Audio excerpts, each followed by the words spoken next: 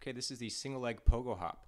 Uh, this is actually a fairly intense plyometric, and we can use it for a couple of different things. In this case, we are using it as a plyometric, so we're being pretty quick off the ground and stiff and using the elastic components of the tendons, but we're still getting some force absorption.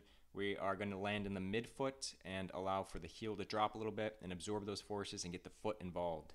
Right. So what that means is that we are letting the foot do its pronation we are letting the ankle dorsiflex and we're getting the arch to drop and do its thing and then rebound out of that drop while still getting some of that elastic bounciness out of it. So again, as you can see, I'm, I'm landing in the midfoot-ish area. We're getting the full foot involved, letting the, the heel come down, and then bouncing out of that quickly. All right, so still more of a plyometric. And then from the side here, again, you can see I'm landing in about midfoot. And then I drop down, and I get the whole foot involved. I let the heel come down, I let the foot pronate, um, and I let the ankle dorsiflex, right? And then quick on the way back up out.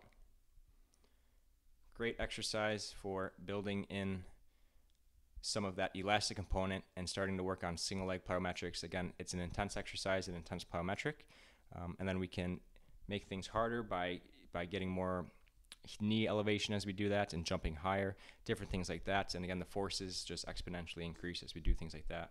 So it's important that you have some guidance when you're working some plyometrics in and not to push it too fast too soon and always make sure that you are rested and not in a fatigue state when you're doing plyometrics to help avoid injury. So yeah, go ahead, give it a shot. It's a great, great drill.